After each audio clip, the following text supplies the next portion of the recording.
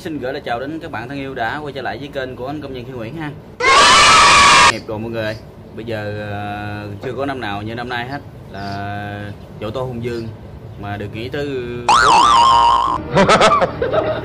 nặng Ờ, là ờ, các công ty ở đây bạn nhiều nhiều công ty cũng ờ, sắp sắp sửa đóng cửa hết rồi bây giờ nếu mà dịch bệnh này mà nó kéo dài hoài thì ờ, chắc là sẽ th th thất nghiệp ờ, dài dài luôn ha. Quán xá ờ, các công ty ở đây mà. Đều ờ, nói chung là 10 10 công ty thì đóng cửa hết cỡ chừng 7 8 7 8 công ty rồi. Ờ, những công ty nào mà bám trụ lại được ở đây thì ờ, giống như là họ chỉ giữ công nhân lại thôi chứ họ làm cũng cầm chừng thôi mà. Giờ chắc ờ, mai mốt ờ, công ty của mình chắc cũng ờ, nghỉ thứ bảy chủ nhật luôn mà. Giờ thất nghiệp. Mới ờ, đậu hai em ờ, chim về nuôi các bạn để giờ mình ờ, sẽ giới thiệu ờ, hai hai em chim của mình ha. Giờ ờ, thất nghiệp mà ở nhà mà ăn nhậu rồi không không làm gì ra tiền nữa thì uh, mệt lắm mà nhậu rồi tốn kém đủ thứ chứ giờ mình sẽ giới thiệu hai hai em chim của, của mình ha. Thú cưng cũng mới mới mới vừa tậu về thôi. Giờ bỏ trong cái cái lồng thôi mà đây đây là một em chim nhộng các bạn nhộng nhộng này mình mình mua nhộng non ha. Ờ, ờ, này thì sáu nâu giờ nó nó hạ hồng ra nó cũng đói rồi ơi. Giờ để ờ, khi Nguyễn sẽ chỉ cho anh em cái cách mà để pha chế thức ăn về dành cho chim non luôn nha. Đây đây là cái hũ thức ăn dành cho chim non nhà anh bạn cũng không có gì đặc biệt, chỉ có cám ớt với lại cám trứng bạn mình sẽ pha tỷ lệ mà 50 50 ha. 50 cám ớt 50 cám trứng. Thì thì bây giờ mình sẽ pha vô cái hũ và mình chế nước vô để cho nó tan ra thôi lúc đó mình sẽ ờ, múc lên mình ờ, mình đúc nó đây. Anh em nào mà mới ờ, mua nuôi nuôi chim mà dặn mình nuôi chim non các bạn chưa chưa biết mẫu thức ăn á thì mình cũng pha theo, tỷ lệ như vậy thôi ha. 50 cám ớt và 50 cám trứng các bạn. Thì mình bỏ chung chung vào mình cho chim sáu sáo non và nhồng ăn luôn cũng cũng được ha.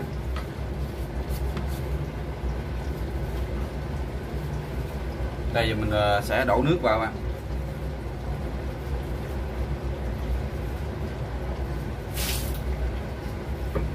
Rất là đơn giản ha vì thì mình ờ, chỉ cần ờ, khuấy ờ, đều lên và mình đem ra mình cho nó ăn thôi bạn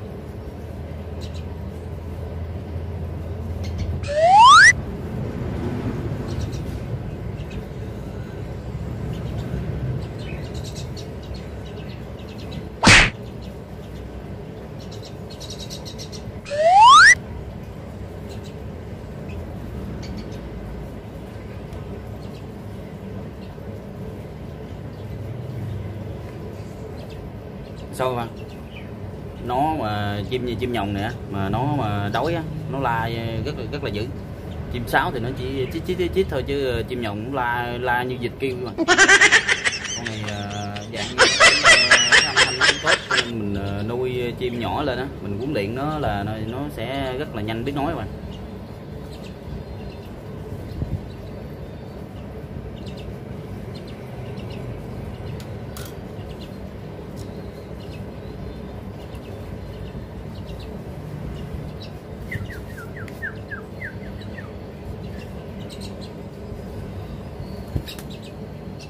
đây em sáu em sáu ờ, nâu này ờ, là cũng ờ, nó nó nó đã biết bay rồi đó anh nhưng mà nó nó, nó vẫn còn là không chưa có mẫu được thức ăn ha. Mình cũng tập.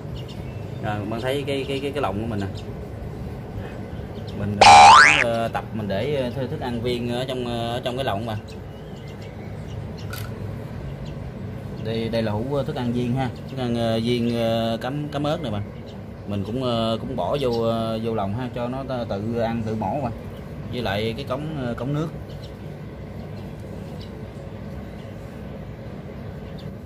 Đây mình sẽ mà quay chi tiết toàn bộ cái cái cái lồng mình nuôi ha. Đây là cái hệ thống nước tự động luôn à.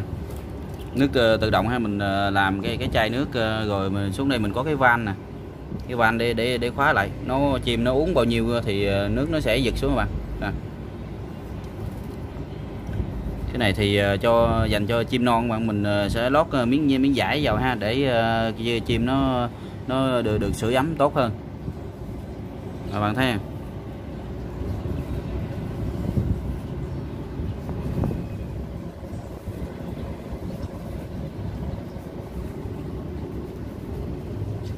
nhồng này cái tướng nó rất là to to con các bạn? Bạn thấy con con chim sáu nâu bên đó với lại con nhồng con nhồng to, gấp gấp đôi con con sáu nâu luôn, nhưng mà tuy là con con nhồng này nó chưa có có full lông mà nó mới chỉ à, ra lông ống thôi.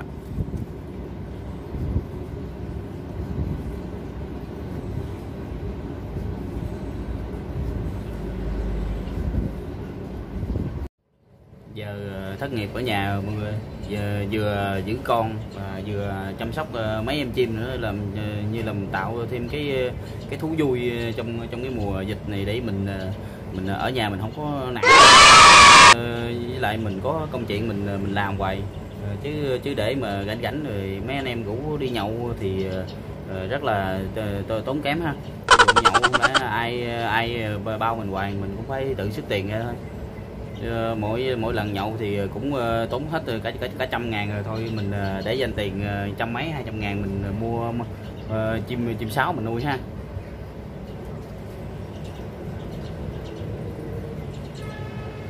Em này thì cũng cũng mới có mà phu lông thôi bạn bạn thấy không? Rất, rất là to ha. Nhìn nhìn ở này với với lại em em em sáu nâu nè. Một trời một vực luôn á.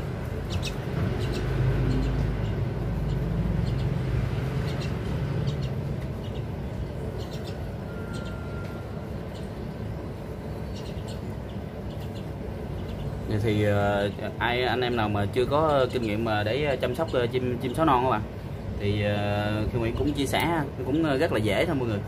Mình cứ giữ ấm cho nó một ngày có khi anh em có thời gian á thì cứ mang ra phơi nắng buổi sáng mình mình cũng có thể phun sương nước các bạn này là là cái cái cái nước mình có, để dung dịch sát khuẩn đồ khử trùng đồ cho cho nó ha thì ờ, thì anh em nào mà chưa có kinh nghiệm ờ, để để pha cái nước này các bạn, thì mình ờ, mình có cái nước mà dung dịch vệ sinh phụ nữ giả hương các bạn.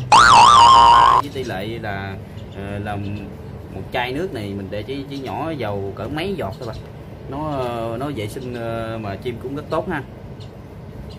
Anh em nào mà chưa có chưa có cái kinh nghiệm mà để để nuôi chim á, thì hôm nay chị Nguyễn cũng chia sẻ với với mọi người ha mình uh, sáng thì mình mình cứ ờ, phun phun sương nhẹ nhẹ lên ờ, lên mình nó rồi mình đem đi mình uh, tắm nắng với nó bạn. Uh, tắm uh, chắc khoảng chừng một một tiếng nửa tiếng đồng hồ thôi. Thì uh, trong uh, nắng buổi sáng nha chứ nắng buổi trưa đừng nên mang ra mang, mang ra sẽ uh, tổn hại tới sức khỏe của con chim mà thì uh, em này chắc uh, tầm khoảng chừng uh, nửa tháng một tháng nữa là nó sẽ phun lông nó sẽ rất là đẹp bạn mình ờ, tiêu cực ờ, cái thời gian đầu là từ chừng tầm ờ, hai uh, ba tháng á là mình ờ, tiêu chịu cực mình đút cho nó ăn khi khi nào mà nó lớn mà nó sẽ rất là là dạng dạng người. Chứ anh em cái lúc trước khi Nguyễn cũng có có mua mà sáu bổi mà. Thì về mình nó lúc đó là nó chỉ nó ở ngoài thiên nhiên đã nó đã lớn rồi mình về mình không có huấn luyện được nó mà. Nó, nó thích hót thì nó hót còn nó nó không thích hót thì thì thôi à mình đâu có mình không có huấn luyện được ha. Giờ mình ở đây mình uh, mình mua sáu sáu non về. Mình bắt đầu mình uh, mình thích cho nó nghe cái tiếng hót của con nào hay là mình uh, thích huấn luyện nó dạy nó cái gì thì nó nó sẽ làm theo mình mà. Rất rất, rất là dễ ha. Còn còn anh em nào mà uh, không có thời gian chăm sóc mà mình mua sáu bổi về chủ yếu là mình nuôi nuôi kiển thôi mà chứ ờ, chứ chăm sóc ờ, với, với lại mà huấn luyện nó thì ờ, uh, sao bổi mình mình huấn luyện nó là thua. Không không có huấn luyện được bạn.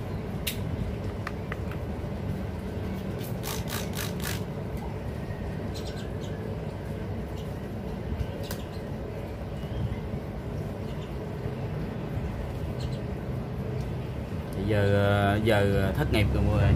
Giờ không biết đi đây tới lễ 30 tháng 4 Ờ, 1 tháng 5 cho nghỉ bao nhiêu ngày nữa bây giờ dỗ tổ ngay ngày giờ dỗ tổ hồng dương thôi. Là đã nghỉ 4 ngày 4 ngày liên tiếp luôn mà chỉ ờ, chỉ được ờ, tính tính, công một, một ngày lễ thôi ha. Còn mấy mấy ngày sau ví dụ lễ ngày rơi ngày thứ năm giờ thứ sáu thứ bảy nghỉ. Chủ nhật là nghỉ bình thường rồi. Giờ đến 30 tháng 4 1 tháng 5 nữa là hai hai ngày lễ liên tiếp. À, không không biết là lúc đó còn làm hay không nữa bạn bởi vì mình uh, tranh thủ mình uh, đi uh, mua mấy em uh, chim sáo này về. Nếu mà có uh, nghỉ ở nhà mình không đi nhậu nữa. Giờ cứ uh, chăm sóc uh, mấy mấy em chim là được các bạn.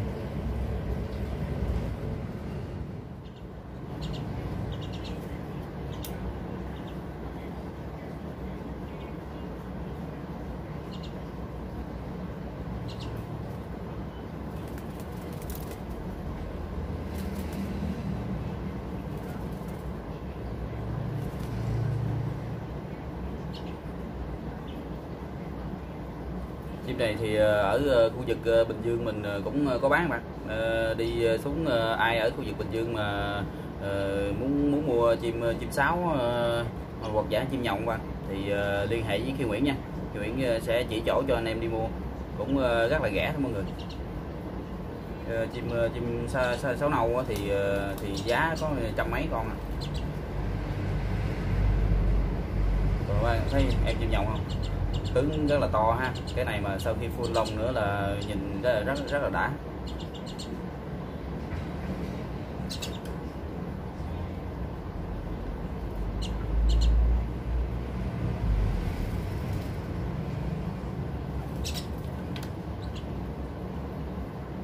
Giờ thì ờ, mình nuôi ở trọ mà thì ờ, cũng mình cũng hạn chế ờ, sách sách ra sách vô ha như là bình thường mình đi làm thì ờ, nếu mà công công việc mà nó ổn định các bạn thì ờ, không có thời gian để để để để chăm sóc nó.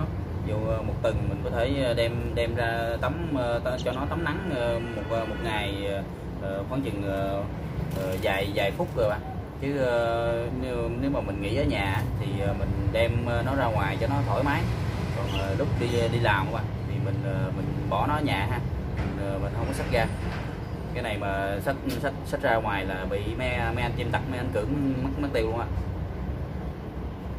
Và nó nó ở nhà thì mình cũng ờ, tạo một cái môi trường cho nó thông thoáng mà. Thì ờ, nó sẽ cũng ờ, ít bệnh. Giống như hai em chim sáo lúc trước mình nuôi á, mình cũng bỏ trong nhà không à. Mà mình chỉ cho ăn cám ớt thôi.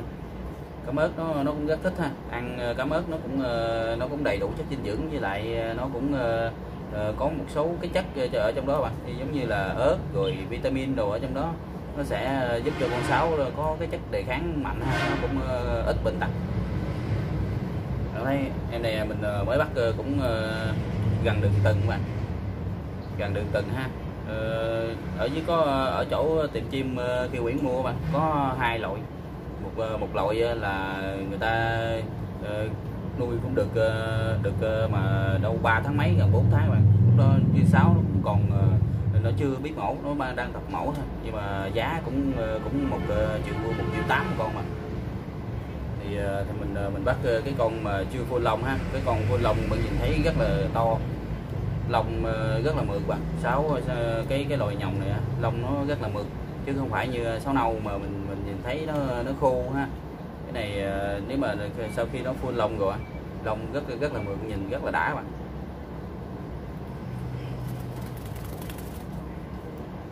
rất là khỏe luôn. Mình ờ, mình ờ, sau khi mình đem về thì bà chủ tiệm chim các bạn bà, bà dặn thì nếu mà có thời gian chăm sóc thì mình đem ra mình phơi nắng cho nó buổi sáng. Với lại mình tạo cái môi trường cho nó thông thoáng đừng có nhốt gò bó nó bạn nó, sẽ phát triển tốt thôi chứ các bạn đem về mà ví dụ như bạn các bạn ờ, đã bỏ trong phòng ờ, phòng ờ, không khí nó không được thoáng mát á thì nhiều khi mình mình ở sống trong đó mình còn cảm thấy khó chịu nữa đừng nói chi cái cái cái cái loại vật chưa có phun lông phun lông còn còn sơ sát mà. Thấy cái đít nè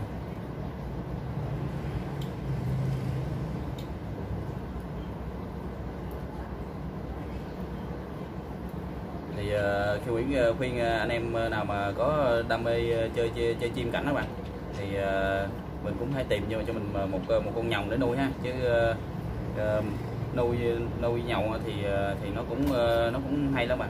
Mình huấn luyện nó rất, rất là dễ dễ hơn chim sáo nâu với sáo đen mà. Nhưng mà giá thì nó nó mắc hơn thôi. Giá nó mắc gấp gấp, gấp cỡ chục lần con con sáo nâu sáo đen mà.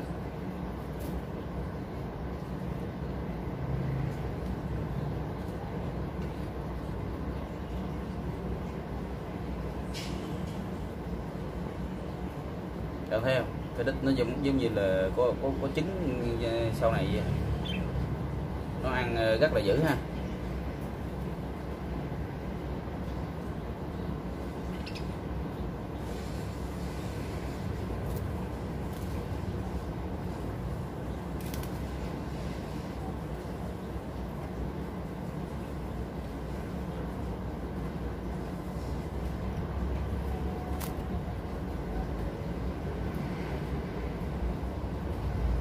mình nuôi nó khi còn nhỏ bạn thì uh, lớn lên đó mình ờ, đỡ cực cái khâu mà huấn luyện ờ, nó.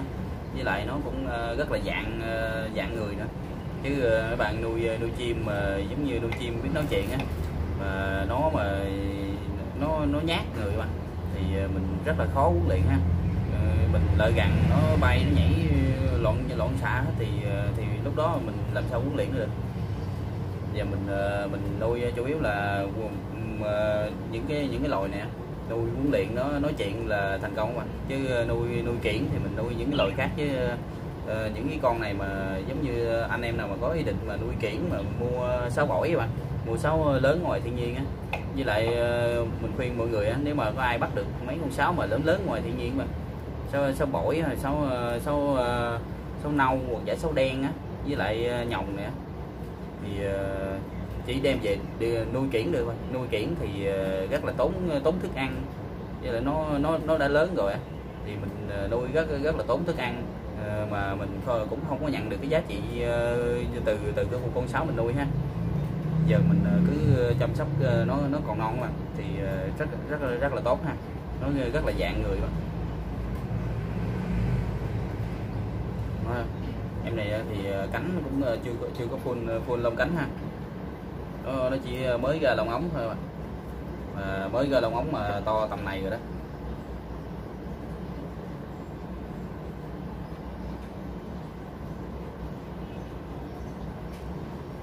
đây. Ờ, Nguyễn xin cảm ơn các bạn đã theo dõi video của Khi Nguyễn ha. Sẵn đang cái cái mùa dịch mình đang thất nghiệp rồi mình ờ, cũng ờ, tìm một cái thú vui nào đó để về mình giải khuây cho thư giãn trong trong cái lúc mà thất nghiệp rồi chứ bình thường mà đi làm công nhân ở trên đây á, thì cũng không có gỏi rảnh thời gian để chăm sóc mấy em nữa đâu. Nhưng mà vì cái đam mê thôi. Nói chung là vì cái đam mê của, của mình là mình thích nuôi những cái những cái chú chim mà uh, chim cảnh đó bạn. Uh, chim đặc biệt là cái loài uh, biết biết nói chuyện ha. Uh, anh em nào ở khu khu vực Bình Dương á mà có xem được cái video clip của Khi Nguyễn á, thì uh, có có ý định mà mua chim sáo nâu sáo non á bà sáo non với lại uh, nhồng non á. Thì uh, liên hệ mình mình uh, mình sẽ uh, chỉ các bạn đi uh, có uh, Khi Nguyễn cũng uh, tìm rất là rất là nhiều tiệm mà ở vòng vòng khu vực Bình Dương nè. Nhưng mà hiếm hiếm có có có tiệm bán đâu mà uh, một là người ta ngay cái mùa dịch bệnh đó người ta không có lấy về người ta bán. Ờ, Hay là cái cái loại này rất là đắt đỏ. Cho nên ờ, mỗi mỗi chỗ người ta chỉ ờ, lấy về được chừng một con, hai con, người ta ta bán, giống như ta bán thử nghiệm thôi mà còn còn cái chỗ mà khi Nguyễn mua là là người ta lấy về rất là nhiều ha. Mình xuống dưới tha hồ mình mình chọn lựa bạn. Sáu sáu chưa full lông cũng có và sáu sáu full lông rồi cũng có. Full lông rồi nhưng mà nó còn, vẫn còn mẫu thức ăn mà vẫn còn đang tập mẫu thức ăn á thì cũng có luôn ha. Nhưng mà giá cả thì nó nó khác nó trên lệch nhau chứ, chứ thì chỉ chắc khoảng vài trăm ngàn thôi. Đây là con con sáu mình ờ, con con nhồng ờ, chưa chưa có full lông với lại nó còn ờ, cũng còn đang đúc ăn mà. Thì thì giá nó cũng mình xin giữ bí mật giá đi ha. Nói giá ra thì nhiều nhiều anh em thì nói cái mùa dịch bệnh thì sao mua mua con này về nuôi tốn tốn kém thì ờ, anh em nào mà có chơi thích có có chơi chim á thì ờ, sẽ biết được cái giá trị của của loài nhồng ha. Mình thì ờ, tính tính mua một một con này thôi. Nhưng mà mình thấy nếu mà mua mà nuôi mình lên nó thì ờ, sợ nó buồn? Ví dụ như mình tìm bạn cho nó cho cho nó vui, ở trong lòng mà có hai ba con cho, cho nó vui cũng cũng, cũng được ha. Giống như mình ở mình lên mình thì rất là buồn. Thì mình tìm cho nó cái cái cuộc cuộc sống cho nó thích hợp cho có như nhiều bạn bè nó nó cũng đỡ chết nữa bạn. Thôi ờ, video của khi Nguyễn đến đây cũng ờ, xin ờ, được tạm dừng ha. Anh em nào mà có nhớ là anh em nào nếu mà có được xem video của khi Nguyễn á, mà có có cùng đam mê và sở thích nuôi nuôi chim sáo hoặc giả nhồng á, ở khu vực Bình Dương mà thì uh, liên hệ với khi Nguyễn ha. Mình uh, mình sẽ uh, chỉ với các các anh em uh, ở có, có cái tiệm uh, nuôi chim bà chủ này bà cũng nhiệt tình lắm mà bà cũng uh, bà cũng hướng dẫn mình cái về cái cách uh, chăm sóc chim non uh, cũng như là thức ăn cũng như là cái môi trường sống của nó mà. Thì uh, xuống dưới bà bà chỉ cũng rất là nhiệt tình mình cũng cũng rất mê- mến bà chủ đó. Uh, thì uh, chủ yếu là mình uh, Ờ, hướng dẫn với à, anh em mình à, chỉ anh em đi đi mua thôi chứ mình cũng không có à, ăn uống gì cho trong đấy ha. À, với anh em ờ, anh em cũng để đừng có đừng có hiểu lầm ha. Tại mình có cái đam mê thì mình chia sẻ cái đam mê đó với với lại anh em và mọi người ha. Thôi video của Khi Nguyễn đến đây cũng xin tạm dừng ha. À, thân mến chào tạm biệt mọi người. Chúc mọi người trong cái mùa dịch dịch này thì hãy cẩn thận các bạn. Mình đi ra đường thì nên mang khẩu trang Ờ, nên ờ, nên rửa tay sau sau khi mà ờ, chạy tiếp xúc với với đồ đạc mà sau khi đi ra ngoài bạn. Thì khi Nguyễn nếu mà bắt bắt chim rồi thì cũng phải vô rửa tay rửa, chân cho nó sạch sẽ ha. Rồi khi đi ra đường thì các anh em nào nhớ mang khẩu trang trong cái mùa này thì cũng không nên tụ tập nhiều người bạn. Thôi khi Nguyễn xin chào tạm biệt mọi người chúc mọi người vui vẻ